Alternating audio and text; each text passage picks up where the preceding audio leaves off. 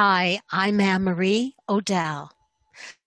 My show is called Tarot Joy, and I am the spiritual radio host, published author, and professional intuitive reader for over 37 years. My guest today is David Ditchfield, and the name of his book is Shine On. You may look at further details on David's miraculous music and paintings at his website called shineonthestory.com. David's story is all about how a wonderful goodbye to a precious friend on a train can lead to horrendously unexpected accidents. I don't mean to laugh, but when you hear the story and of his miraculous journey, what he saw, what he experienced, and how he came back and painted it and composed music, gifts that he had no training on, and how he became what he calls the artist in the attic in a yoga building for almost two years. So here's his story. We jump right in to him explaining the accident. To me, oh, you were so unlucky that day, you know, if you could turn the clock back, you know. And I was going, no, I, I was so lucky that day. First, because I, I survived. I survived this awful accident. But secondly, because I had this remarkable um, spiritual enlightenment, this experience, which was to change my life for, for forever, basically, and to completely awesome. open up the whole book. Yeah. yeah, and and you wrote a book on all this, right? That's right. Yeah, it's called. Shine Do you have that on. book there? No, I haven't got it with me. No, I, I, can I can go. Did you forget to buy a box of books? oh, they're, they're, all around the place. Yeah, I thought yeah. I, I, thought my paintings would do for you. Yeah. well, we'll have a little of those paintings in in due time here.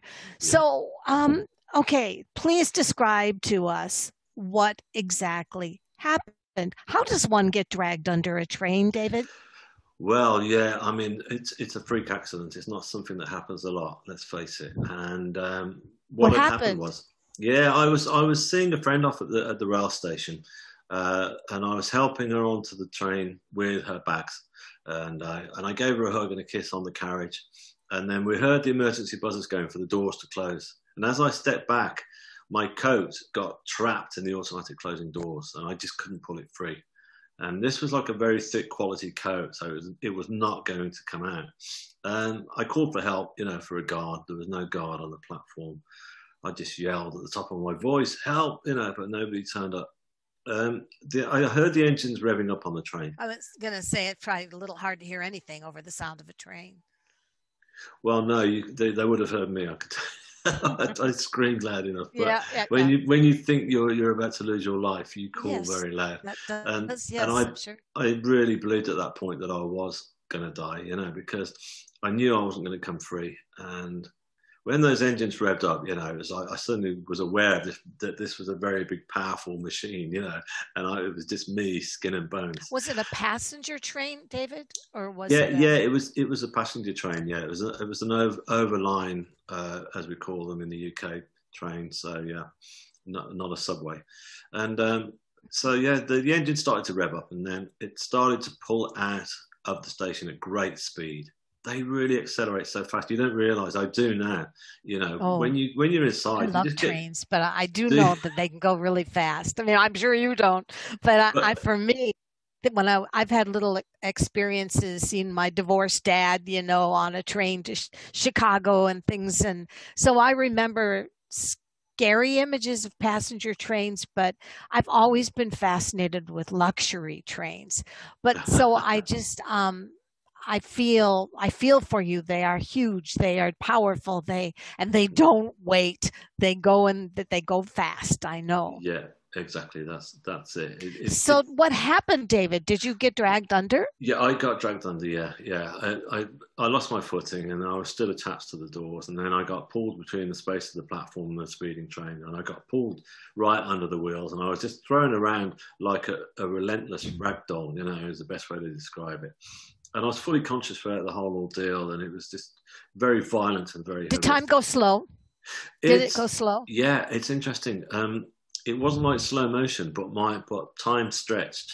Its time suddenly became like going from video video to 35 mil film, you know, and um, and that happens. I saw I saw a scientific program quite recently um, uh, with this guy, and and uh, he's he's a neurosurgeon or, or doctor, and and he said that that happens a lot when you get guys like rock climbers, these guys who climb mountains without any ropes and stuff like that, you know, just their hands and, and, and yeah. feet and they're about to fall and uh, they're just hanging on and, and that he said that that thing happens where the mind stretches and that and really gives yeah it gives even while they're doing it without a, a death threat there, there's no still... no no no no i'm talking about when there, when there's a death threat when there when there is a death threat yeah okay. when they're just say they lose their footing and they're just about okay. to fall okay.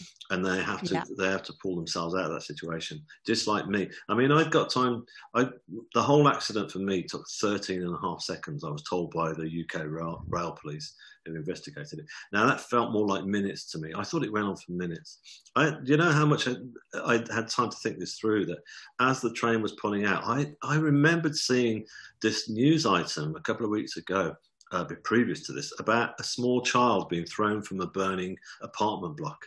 And when this child landed, it didn't break any any bones or limbs. And they put that down to the fact that the infants relax themselves. They're not they don't tense up like we do. So I thought, right, do that, relax. So I had all these thought things going, you know. So I was going into fight mode rather than flight as well. So I was determined to survive. And uh, anyhow, I, when I went under, as I say, it was just like being going into the into the. you didn't get squished I didn't, didn't get, get- squished, but I got I got mashed and messed up, and I my left arm Yeah, got, yeah. got severed, and uh, you know, so I, I got very much caught up in in the, in the mechanics of the wheels and everything. right I ended up in between the tracks as the train was still continuing on. It's a very long train, wow and even then, I thought. I thought 007, you've got it. What would happen now in this stage? He would keep his head right down. that's what And you're so thinking I was thinking 007 that. That is the truth. and so I Uh. said, right, keep your head down for goodness sake. So I did. Because, I could and you know, something could have just come and whacked me and that would have been it, the speed it was going at. And Uh-huh. it moved on eventually. And there I was lying on the track uh, with my left arm completely ripped open and severed and in complete agony. But also in a sense of joy that I'd survived. I couldn't believe it. So yeah, so that was that. That was that's what going under a train is like, and yes, it's it's that's how it happened. Uh, my cocaine trap. so at that point were you experiencing the other side or no, what was I didn't going do actually. on No, I, I, I, the the paramedics arrived pretty quick, and they kind of cut through my clothes and got me in into an ambulance and into hospital. And it was when I arrived in the hospital, uh, all the doc- surgeons and doctors were wor- working on me, and I was losing copious amounts of blood by this point, and. Uh, and I, I, I was worried that, it- that I wasn't going to pull through, to be honest with you, because I could see how frantically worried and concerned they were. You know, there's all these science figures going over my head. They're going, "Give me an E45." No, no, no, give me a 45.6. I was going, "What? What are you talking about?" You know, I thought, "Oh, this is." so were you astral projecting at that point kind No, of I was no, I was I was still fully just me in pain, Okay. in so you were still hearing all life. this So I was Yeah. hearing them, yeah, and I was just scared for my life at that point. And then it was at that point that I did, I did leave my body, and I, I left from the, all the franticness of the hospital and and the bright lights and and and the the agony, the sheer agony, and then I suddenly found myself in a much calmer and more beautiful and darkened place, like a not a foreboding darkness, like a really beautiful, calming darkness. And of like your "Where jacket. I?" kind of like your jacket a little like my jacket. Yes, Mhm. yes. And um, so um, I've carried the theme on clearly, haven't I? so, so yeah, so there I was in this darkened space, which I thought was a, a, a room at first, you know, because I didn't know where I was. I figured that I'd died. I figured I hadn't survived it and that I'd moved on to the next stage. But interestingly enough, I, I went with it. I didn't try and fight it. I mean, I've since read other accounts and heard other accounts of some people who do uh, cross over to the other side and they resist it. They want to come back because they've got their kids and stuff like that. I mean, I didn't want to die, don't get me wrong, but I was so happy to have got away from the actual trauma that I'd just been through and sure. being uh, feeling so peaceful. So I looked around me and I, and I and I was kind of welcomed by these beautiful orbs, uh, like these lovely coloured orbs that were just slowly pulsating all around me, kind of at my level, and they made me feel kind of comforted. And so I just started to relax and then get my bearings. I looked around and I realised that I was no longer laid on a, on a hospital trolley, but what I was laid on was this uh, like a, a, slate rock. It was like a huge, like a medieval altar, if you like, and I was just laid wow. out on it. Yeah, I know, and um, uh, and it was very comfortable. Um, despite the fact that I was no longer wearing clothes, it didn't matter. I was just covered by this blue satin sheet, but I felt really comfortable on this rock. So I just thought, I just laid back and um, as I did, I was lying there and I, I, just saw these like three grids of white light that were just kind of closing in on me. And, uh, and as I looked into that light, the light was so pure that the energy of that pure white light was just felt very strong. And I couldn't take my gaze away, even though it was like an intense light. Uh, and I just thought, wow, this is, I knew I was being healed by that light. And so I, it was a beautiful feeling. Ah. And um, you felt you were being healed that's what I felt like I was being healed by that light. Yes, yeah. yes. So I, as I lay there, then I suddenly felt the presence of somebody. I thought somebody has suddenly arrived at this scene. So I lifted my head, and there was uh, just uh, right at my feet. Um, there was like this um, androgynous being, a really beautiful being with this. I have to, you know, that is so strange because everybody that I know that has usually, you know, people that have had experiences in which that has taken them artistic levels. It seems as if they always perceive the person as androgynous you oh, know, oh, really? kind of like ah. Krishna. Krishna, you know, was kind of a, a sense of the um, that androgynous kind of uh, symbol. So yeah, interesting. Sorry, didn't mean to interrupt. Go. Not at all. That's that's that's very good, interesting knowledge for me. I think to learn um, affirmation. And so yeah, um, so yes, I I looked at this being, and he or she was just wearing a very contemporary black t-shirt. You know, nothing too ethereal or oh, anything that, like and that. you're on an altar, and they're in a t-shirt. exactly. Yeah, that's it. You know, and so so I like that because I felt this was like because the whole experience felt so ultra real and i felt i knew that i was there and it wasn't a, a, dream or a hallucination this was happening i was there in this space and i love the fact that this being was just wearing a, a black t-shirt and he or she just kept grinning at me and smiling with a knowing smile wow. and i was i know it's amazing and I, I just felt protected as well and I said, I know you. Who are you? I know your face. Where do I know you from? and uh, he or she just kept grinning back at me, and and it's it was like that feeling that you know sometimes you go to a party and you meet somebody for the first time and you get chatting and you both turn around and say i feel like i've known you all my life and it was right. like that moment that one of those moments but a lot more intense i suddenly realized that i'd known this this uh, being throughout the whole of my you, life and beyond yeah. uh, just an idea but do you think it was yourself yeah I think it was my higher self. I think it was right. my higher consciousness. Exactly. And of course it was smiling at you. It's like, hey, dude, you finally found me. You know? yeah, it's almost like you're going to find out. You're going to see, you're going to suss Eventually. this one out yourself, basically, aren't you? You're going to get right. it, you know. Right. But not only would you that, would you would you define that as angelic? Oh yeah, yeah, definitely. I define it as angelic. So even though it is of your higher self, you still you still perceived that that was an angel of sorts.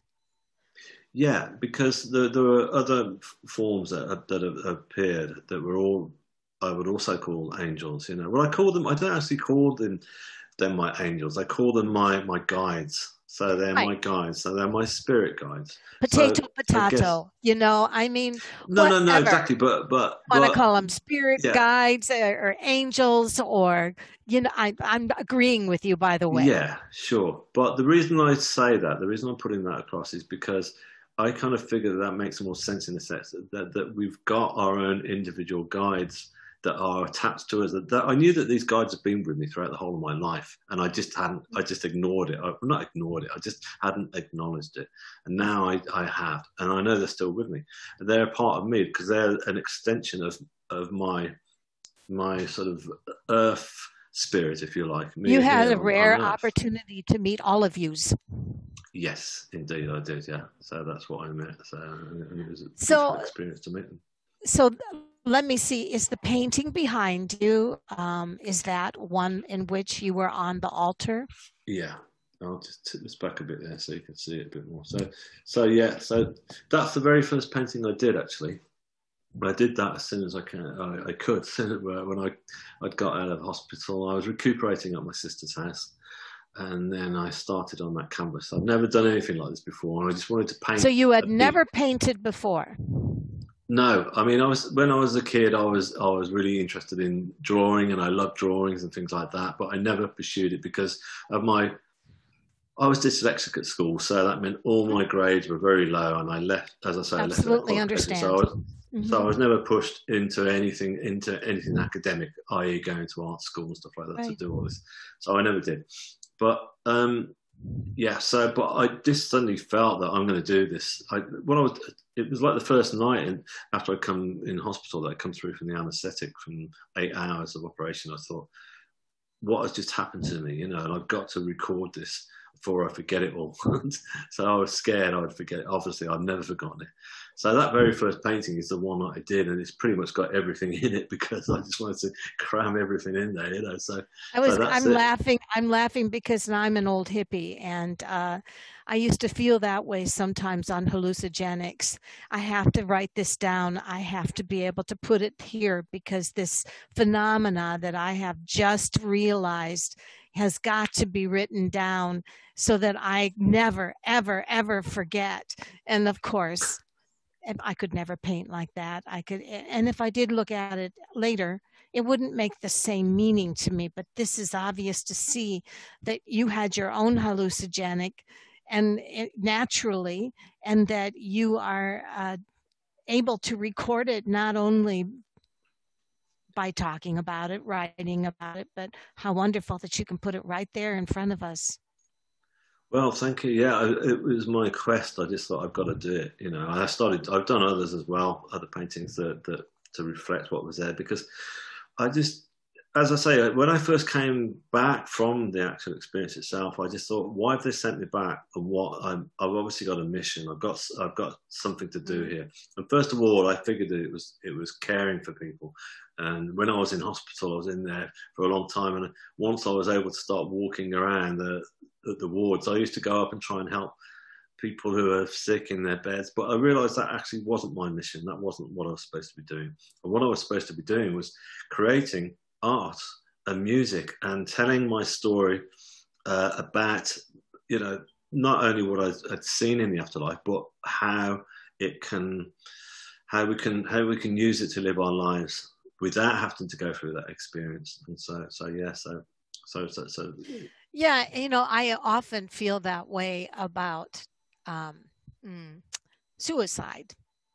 You know, it's too bad that people can't just have that moment like you did and be able to experience it without having to completely leave our their life, you know, yeah. and uh, so you had that rare glimpse of what many people that die ever, you know, they, I don't know. Anyway, so now comes the question.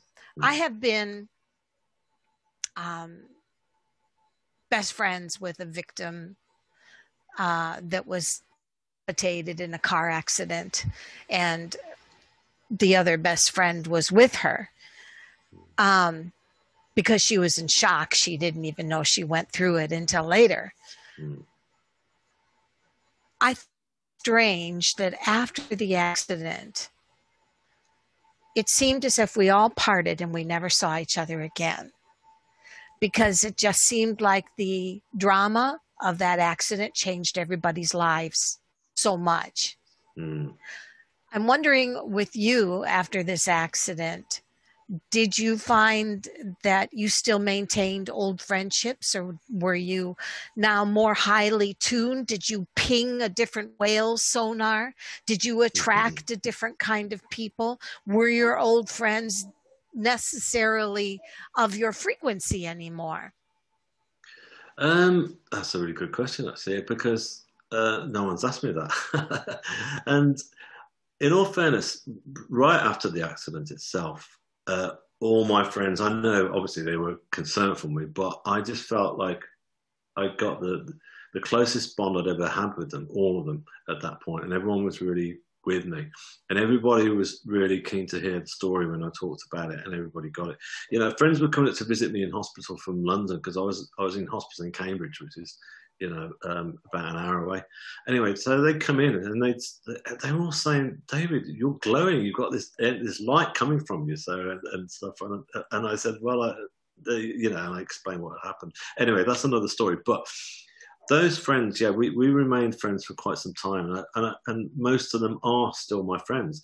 Yeah, some of us have drifted apart naturally, but that's because we've moved to different parts of the country. You know, so we were all, we were all condensed the, into London.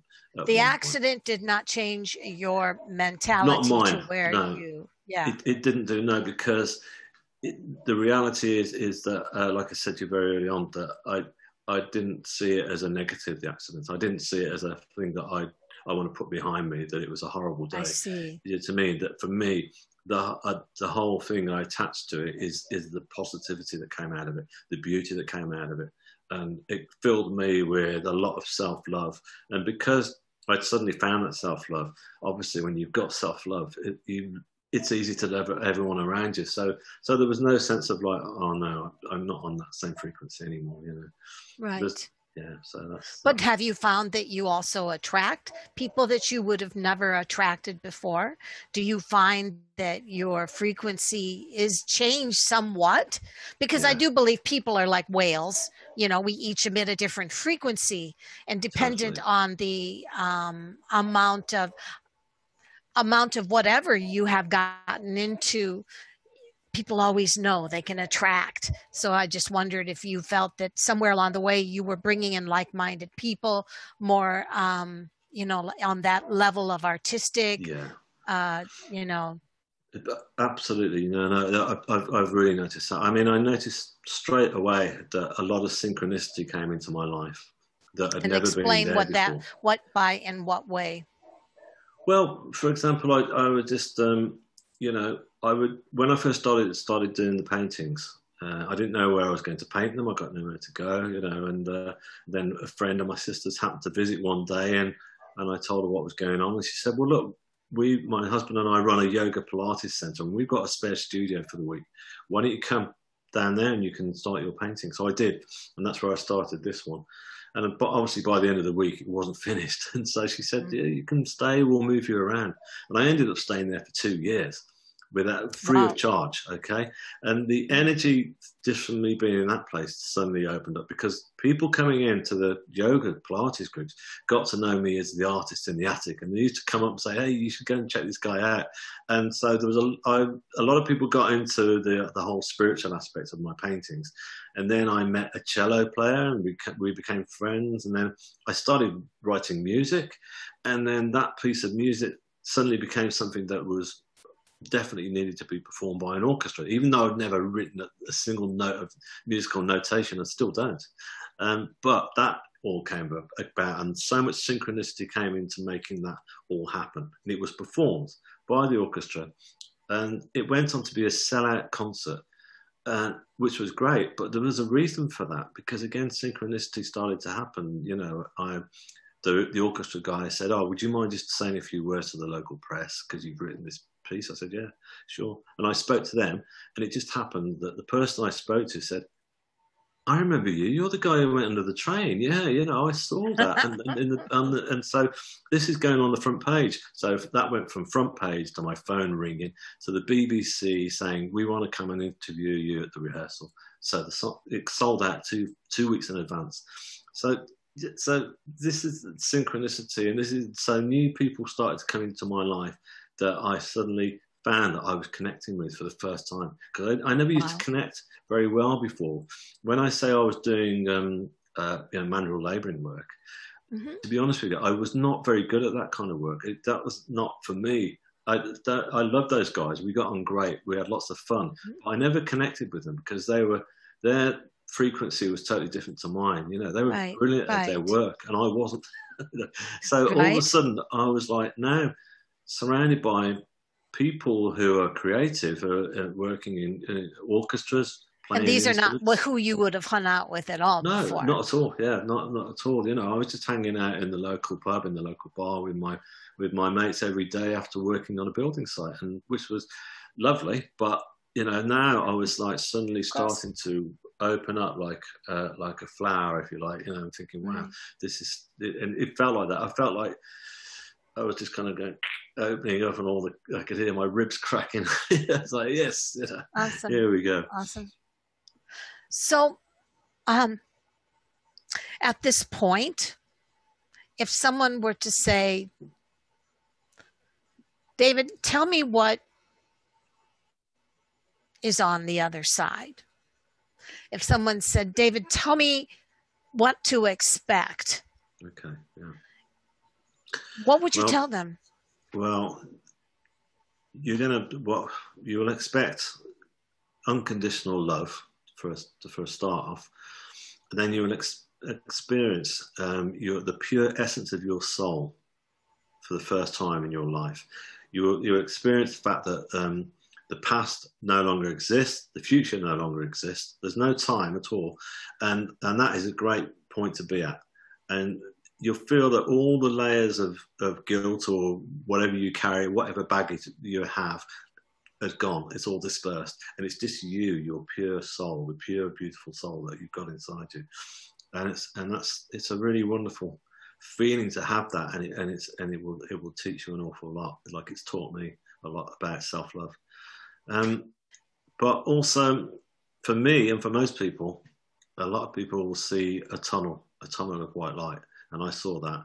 Did and you? That is a yeah, and it's a very powerful uh, experience. was the most profound part of the whole NDE because for me, I because there was a lot of telepathy coming through throughout the whole experience, and I was being told at that point that I was when I was looking at this powerful white light coming towards me, and it was surrounded by all these flames that were just turning around. Is that what you're painting there, David? Yeah, that's that's right at the back. You know, you can see them. The, I, mm-hmm. As I say, mm-hmm. I'll put everything in there, so that's at the very back. Right. And you can see all the flames are surrounding that that intense white light.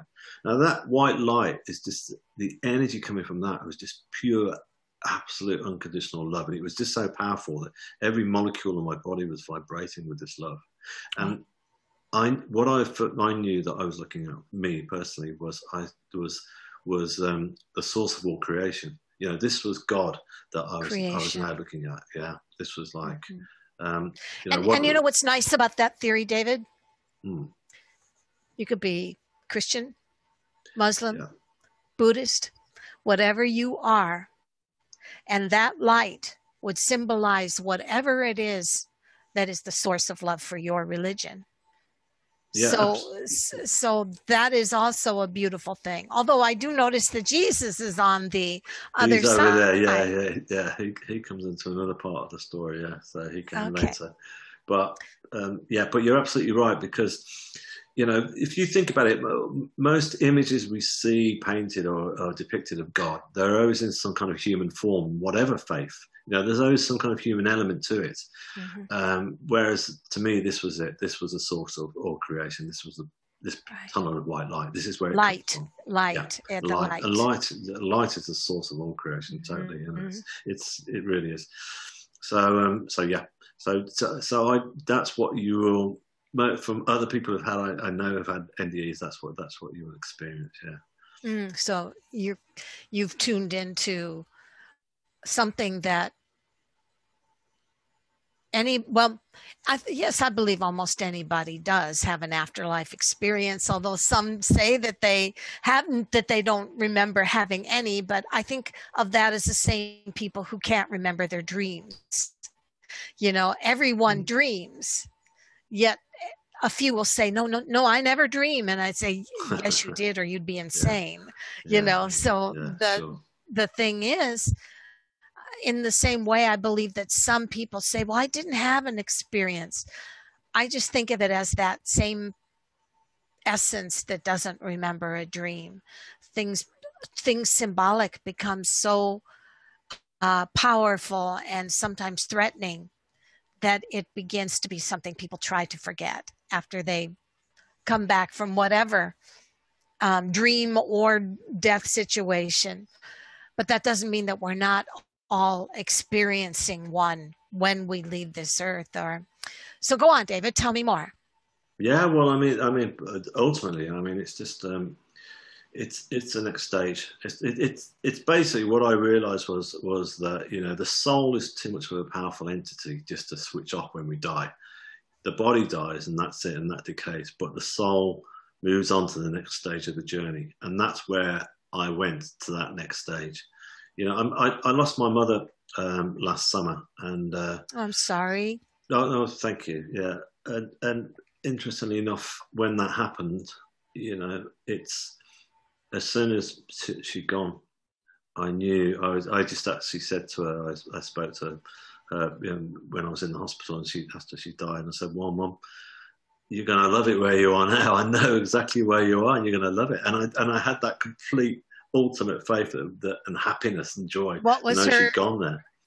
What? Oh, that you said that after she died. I said or... no. Oh gosh, no. I said it after. Yeah, I didn't say it beforehand. Yeah, well, I mean, I think that would be comforting she, to know. Oh, I know. I'd love to be able to tell everybody just before they die, most certainly. But in my mother's state, she had a a, a, a heart attack and a massive heart attack, so it wasn't something that she was lying there on a deathbed. Right. So, so, but what I mean is, you know, when you a lot of us go to say goodbye to to our loved ones after just after they died. So it was just a sort of final farewell. That's when I said it to her. You know. Right. And um, uh, do you know what's really amazing as well? I just I remember I leant across and I just kissed her forehead to kiss her goodbye. And as I did, I felt like this jolt um, from her uh, into my heart chakra, right from her. And it was like, whoa, it's kind of like wow. wow. It was like this kind of acknowledgement that that that um, after I just said that to her, that you're going to love it where you are now, that was like, it was almost like a beautiful reply, you know, it was really nice. But yeah, but what I'm trying to say is that my faith is that, and my belief of what happened is so, so strong that, that when losing my mother, who I loved dearly, that it was, uh, it really helped me so much to know. I mean, obviously I missed her and I still do miss her physical presence, but you know, just to know that fact that that's that's that she was on to the next stage of the journey was just um, was just really beautiful. And, and so I tried to sort of really help people along with that, not just because a lot of people fear death as well, and which is understandable because we don't talk about death doing in Western civilization. No, it, it's like going to a party where you don't know anybody. Well, yeah, it is, and it's like, or I compare it to the fact that we prepare for everything else in life. We prepare for birth, marriage, driving tests, but we don't prepare for death, you know. And so we may as yeah. well just touch on it. We don't have to. Well, we can buy our we can buy our plot, and we can buy our stone, but we can't buy a we can't buy a loophole to heaven. So yeah, um, well, yeah, I know. It'd be nice for people to try and actually think, oh, you know, I wonder, what, I wonder what happens next. My insurance, my insurance, I'm going to get to heaven, or to, but so yeah, mm-hmm. um, go on.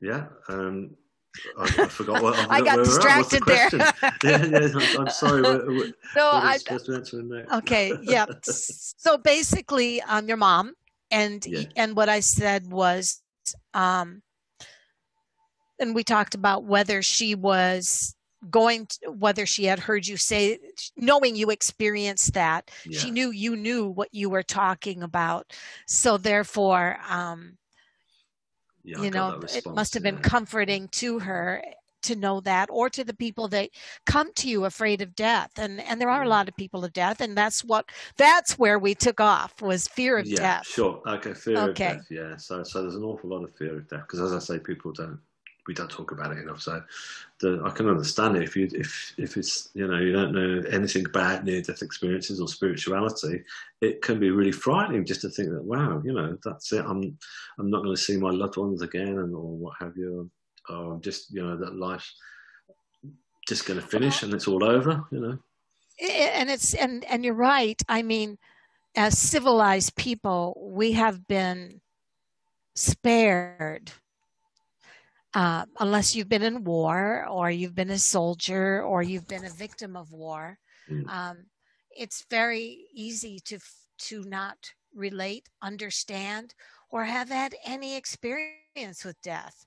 And so, um, whereas other countries, some countries at least, seem to take a more natural uh, viewpoint about being with dying loved ones or I, I don't know. It just seems like yeah. indigenous people especially I haven't got the fear yeah, of of of these other people that are the fine christians and the fine you know that don't you know what i'm saying yeah. i'm not no totally i'm, I'm I'm with you completely on that. So indigenous, yeah. yeah. So indigenous have kind of had it um, a privilege knowing that they will never have to worry about the fear of death because it's like waking up it's like going to work it's like part of life yeah but but also if you think about it compared compared to the indigenous lifestyle you know we're we're all about high achieving aren't we we're all about kind of i want to get to this point where i've got enough money then i can pay off my mortgage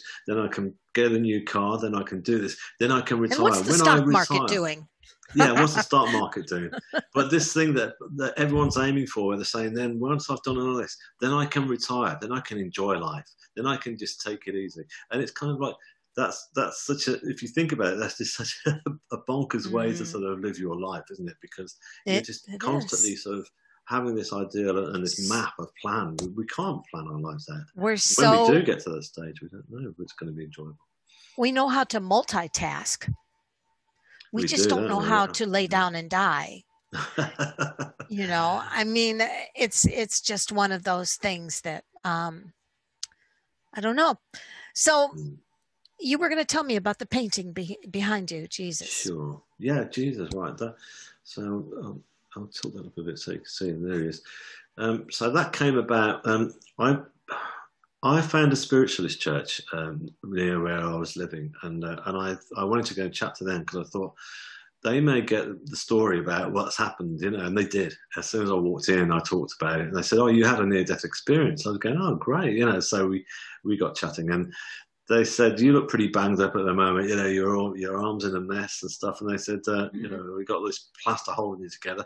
And they said, "We do spiritual healing. Would you like to come along?" I said, "I'd love to." So I started having spiritual healing. Now, spiritual healing is really beautiful. It's very calm uh, sort of uh, sort of experience where you just you lay out on a bed and, and, and you have two or three healers working on you, and it's very similar to what uh, that happened to me. I was going to say, the, the hands very are similar yeah. to your experience there. Exactly. Yeah. And so the, the the healers basically channel through energy from my guides and from their guides, and they bring through the healing light, and, and it comes through their hands and into various parts of the body that need healing. Is it Reiki? It's not Reiki, no. It's spiritual. It's not healing. Reiki. Uh, these guys have to, okay. you know, they have to be fully affiliated. You know, they train and they a healing touch. it's the healing touch. It's, it's, but it, I think it's very similar to Reiki. I've never had Reiki, but I'm, it is mm-hmm. similar to that. Yeah and um, so so yeah, and uh, so that I started going there, and, and, a couple of the healers were clairvoyant, and they turn around at the end. They just say a few messages like, "Oh, I saw this beautiful sort of blue light coming through as I was healing you," and then they started saying, "Why am I seeing you know this and that and the other?" And then and then one week, I was being healed. Then I saw, while I was being healed, a, an image of Christ like I painted him there, floating above me with this beautiful white tunic on, looking really healthy, and you know, not the usual image of Christ on the cross. This was him looking like probably like the resurrection, you know, mm-hmm. and uh, and he was just staring at me, and I just thought this is beautiful. And I came after that session finished, we just sat there as we always do. We don't talk for a while, and then one of the healers turned around and said, "David, you know, I, that I saw Christ stood next to you while I was healing you, and I was going, "Wow, that's amazing!" You won't believe it, but and I said what I'd seen. So of course I had to go back home and st- buy a canvas and get straight onto that. Painted it. Yeah, and painted it. Yeah, and uh, there he is. Would you say that your favorite color is blue? Yeah. Would you say that there's a reason for that? There's, there's, I, there is. I think, I think that um, I, I don't. I'm not. I'm not clairvoyant, so I don't see uh, spirit. But I do get little signals that I know that when I've got spirit with me or I've got people, my guides close to me, and every now and again I get this little flash of blue light that I see in my eye, and and it's there and it'll stay with me, and that color of that blue is is similar to the color of the blue that was in the in the sheet that covered me, and right. And I guess I don't aim to sort of use a lot of blue in my paintings. It just happens to come through, and I notice it afterwards. I think because I'm guided when I'm when I'm painting, I'm channeling through. So I, half the time I don't I don't even choose the colors that go on the canvas. So yeah, I, well, I do notice. It's it's it's also interesting to me that many uh, religions like uh, Krishna and um, other Chinese, you know, uh, religions, many of their um, paintings of their deities or whatever are blue or they're pale blue. So it seems to be that blue is a very spiritual uh, color, it seems to be. I don't know. I just, yeah, I, and I noticed you use a lot of it. You're yeah. wearing it. I'm wearing it. Mm. So it just mm-hmm. seems to be that blue is, is in your paintings a lot. Yeah. Um, I'm just going to ask you, um, tell me what your favorite painting is. Is it one of those? Is it? Um, um, sure. Now I ask yeah, that. You haven't no, no, got no, it with you. yeah, they're, they're, like they're these the some of these paintings I keep. I'm never going to sell them, and they're they're like my kids. You know, they're like so. Right. You, you, know, if you've got kids, you don't sort of turn around and say, "Yeah, he's my favorite" or "She's my favorite." You love Are them you still painting? You know?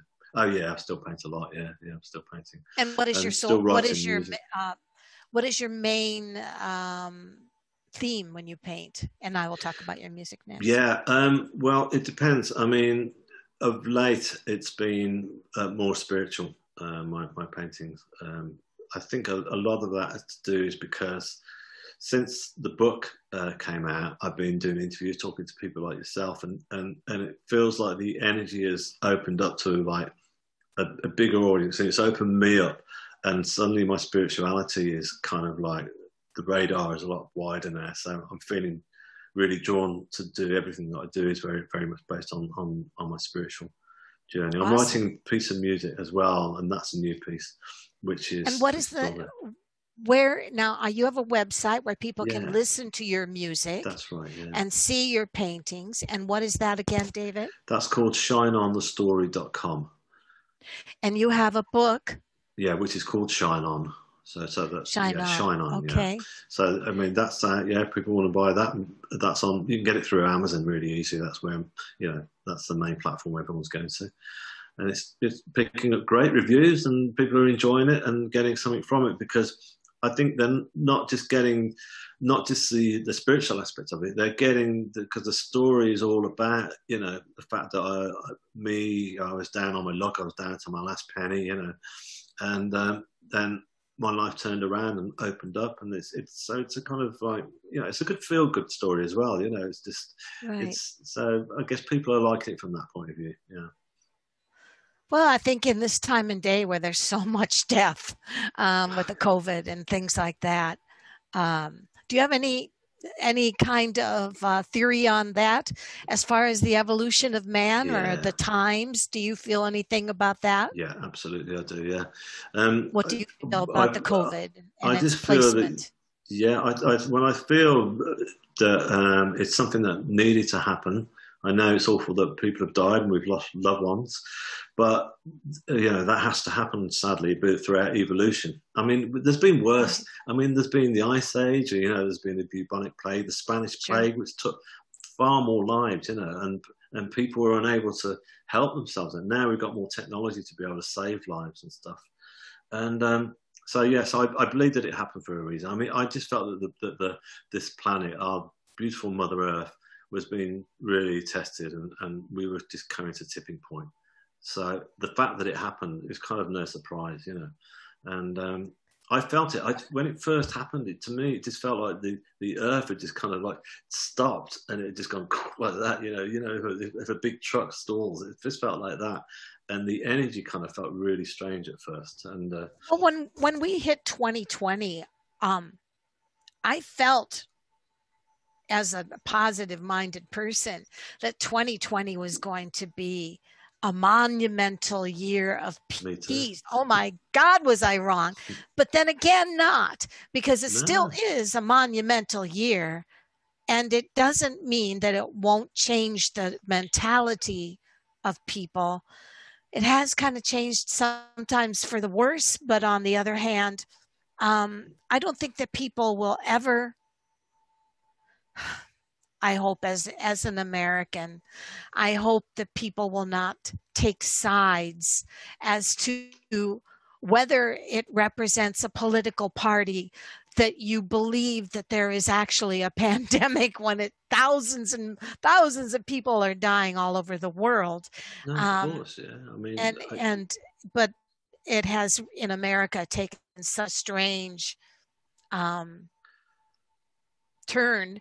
And but i know that uh, i think that it's something like you say it's going to make a change um, so you can't have an entire population wiped out like that without saying that we're starting from scratch in a way you well, know? I don't think we're going to get wiped out at home entire population. I really don't. You know, I mean, we have to be careful of the media. You know, one thing that's come out of all this, and we're all well, I think we're all realizing it now that media frenzy mm-hmm. is is something that's been there for so long, and we've never really noticed it. Well, I certainly haven't. And now I'm thinking. Do you know what? It's crazy. They're feeding. They're just kind of like just feeding us with hysteria constantly on a day-to-day basis there's no nobody wants to get a positive story out, out of the whole situation. So what do you, what is your theory? So what what is your suggestion to a media frenzy population? Is to stop, is to just take it in a little dose. That's what I do. Don't I mean? Most of us switch on the news when as, as soon as we wake up and, and put the coffee on. And that's mm. not a good way to start your day, you know, because that's no. like putting you straight into like, oh, kind of mode. It's not allowing our bodies to just kind of stretch out and go, ah, oh, right, let's, what a beautiful day. Wow, the sun looks uh, uh, fantastic today, or whatever, you know. So I'm just saying, yeah, don't ignore the news. Don't sort of pretend that it's not happening. But you, if you notice it, that if you watch one news headline at one part of the day, you've got it, and that's all you need to know. If you switch it back on again four hours later, it's the same. Ten hours later, it's you're right. It doesn't change. It, no. it, yeah. So as long as they can get people. Um, the bad yeah. news they need to exactly. stay interested. Then they can chew on that bone, you know. Yeah, yeah. But but anyway, so that's just one side of it. But I think the other thing to, to look at as well, which I saw happen myself, I don't know about you, but especially in the UK, that when we when we all went into lockdown, that people at oh. first panicked, but then they started to. Oh, the arts opened up again. Exactly. Yeah, they started becoming creative. They started baking their own bread, teaching their kids at home, and and then getting in touch with nature. People were going online saying, "Hey." Have you seen? You should look out. You, I'm I'm in the garden now. There's these amazing birds that land in, and they just come and they eat the bread, and then they go. It's like, oh yeah, at last you've discovered this, you know. but our so garden shops, our our garden shops were sold out within a few weeks when they opened yeah. up in the warm weather.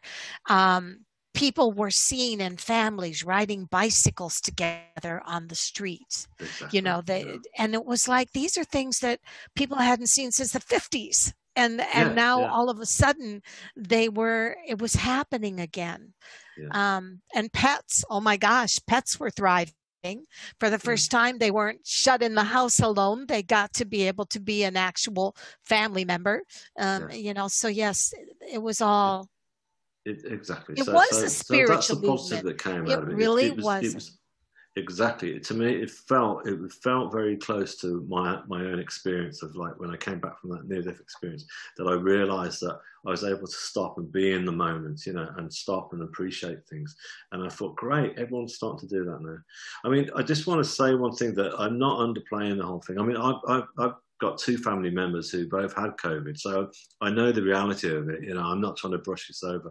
It's so yeah, it, it, it is, but you know, like I say, and sadly, we need adversity, don't we? Well, I say we don't need it. Adversity often brings a new horizon, is what I should say. And I think that something positive will come out of this. That's, that's what I feel anyway. I think a lot of people are here saying, oh, we just want to get back to normal. And I'm saying, why? There, there, there's no going back. Was back. normal that good? Why, we don't yeah. want to go back. What do you want to go back to? Why don't you just say, yeah. how about we learn something from this? We actually learn that we, we're in. I'm seeing families that are enjoying just being in their own bubble now. And I'm, do you know what my prediction is? That a lot of people are going to be quite nervous of going back into like big parties, big you know, office blocks and being surrounded by hundreds of people day in, day out. I think people aren't going to want that anymore. I think people are just going to be want to be semi-reclusive and just work from home and be with their families. You know, that's right. well, David, I want to say it's been delightful, and um, if there was any last words that you have to say to anybody about where you are now compared to where you were um, in 2006 sure. is there a uh, is there any kind of um, what do you say okay what I would say was if anyone is in in the sort of place that I was at in my life where you don't feel like anything's working and you're trying to push doors open and they're not opening actually try and stop and stop doing that and just take some time take some time out just to look into yourself and give yourself some self love. The way to do that is to, we've all got an inner child within us, which is that little kid that we, we knew when we were little. and Try and look back and visualize that child and try and give that child some love and hug that child and then start to then realize that that is the authentic you and then ask that authentic you where it actually wants to go in life and then you'll find that suddenly doors will slowly open and those doors are the right ones that are meant for you. And you might not even realize that, that they were where they're taking you where you were supposed to go but they will do. And it's a much better path because it's your authentic path and it's much more enjoyable. Love it david. Thank you. Thank you. Bye-bye. Thank you for having